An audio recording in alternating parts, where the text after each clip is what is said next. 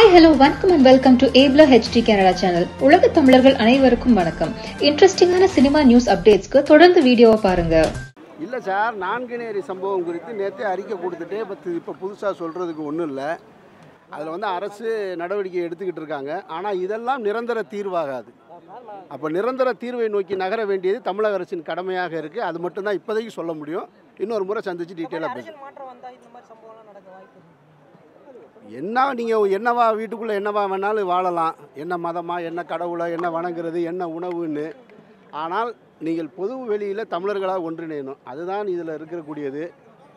மிக கடுமையான சட்டங்கள் உருவாக்கப்படணும். ஒரு வாகனம் ஓட்டும் பொழுது ஒரு வாகனம் ஓட்டினா பதினெட்டு வயசுக்கு கீழே வாகனம் ஓட்டுறவங்க அவங்க பெற்றோர் தண்டிக்கப்படும் பொழுது லைசன்ஸ் இல்லாமல் ஓட்டினா பெற்றோருக்கு தண்டனை சொல்லுவது போல இது மாதிரியான வன்முறைகளில் பெற்றோரையும் உட்படுத்தினா தான் இதுக்கு நிரந்தர ஒரு தீர்வு கிடைக்கும்னு நான் நம்புகிறேன்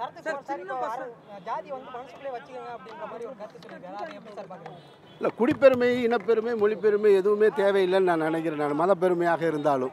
நீங்கள் என்னவா வேணாலும் இருங்க. எதையுமே பெருமைப்படுத்த வேண்டாம். மற்றவர்களை சிறுமைப்படுத்த வேண்டாம். படம் எடுக்கிறவங்கள தப்பா பேசுறாங்கல்ல. இல்ல படத்தினால தான் இது நடக்குதுன்னு சொல்றாங்களா? அதை அவர்களுடைய? அது அவர்களுடைய சுயலாபத்துக்காக சொல்கிறாங்களே தவிர படம் மட்டும்தான் இன்றைக்கு எல்லாரையும் பண்படுத்திக்கிட்டு இருக்கே தவிர திரைப்படங்கள் இல்லைன்னு சொன்னால் இந்த சமூகம் வேறு மாதிரியான ஒரு சூழலை உருவாக்கிரும். அதனால் திரைப்படங்கள் மூலமாக தான் விவாதத்தை ஏற்படுத்த முடியும்.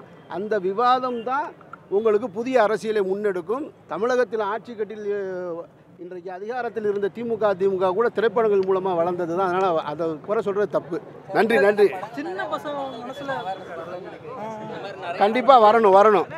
மாண மாணவர்கள் மாணவர்களிடத்தில் பள்ளி கல்லூரி மாணவர்களிடத்தில் சாதிய விழிப்புணர்வு போரை தொடங்கணும் அப்படின்றது என்னுடைய கருத்தாக நான் முன் வச்சிருக்கேன்.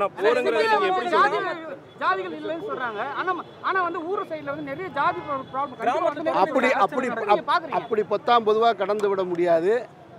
கிராமங்களில் சாதின்றது கட்டமைப்போட இருக்குது நகரங்களில் வந்து கட்டமைப்பு இல்லாமல் இருக்கே தவிர உள்ளுக்குள்ளே அந்த உணர்வோடு தான் எல்லாரும் இருக்காங்க. அங்கே அதுக்கான ஒரு கட்டமைப்பு இருக்குது இங்கே கட்டமைப்பு இல்லை அவ்வளோதான் அது காழ்ப்புணர்ச்சியின் காரணமாக தாக்குறாங்க.